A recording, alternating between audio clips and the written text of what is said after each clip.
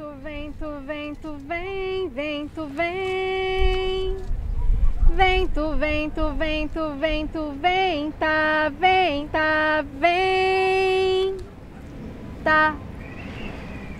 Se o vento não ventar, tem que inventar. Tem dias que o céu não tá pra pipa, nem bambu pra vareta. Ou se empina peixinho, ou se tira onda de capucheta.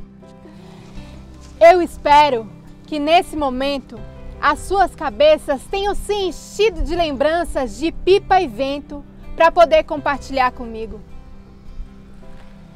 Mas vocês sabiam que algumas pessoas não têm boas lembranças das suas infâncias? E que algumas crianças estão nesse momento produzindo produzindo más lembranças das suas infâncias.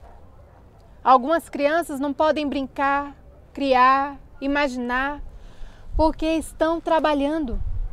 E trabalhar traz inúmeros prejuízos para o desenvolvimento da criança e do adolescente. Entre os piores tipos de trabalho infantil estão a escravidão, a exploração sexual, o tráfico de entorpecentes e os trabalhos insalubres, que por sua natureza colocam em risco a saúde, a moral ou a segurança da criança. Segundo a Organização Internacional do Trabalho, cerca de 85 milhões de crianças estão em todo o mundo desenvolvendo algum desses tipos de trabalho.